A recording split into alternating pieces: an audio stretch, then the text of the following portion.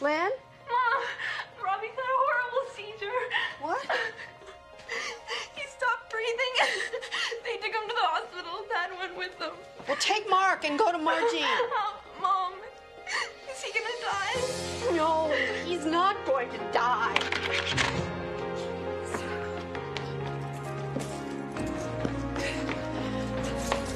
Get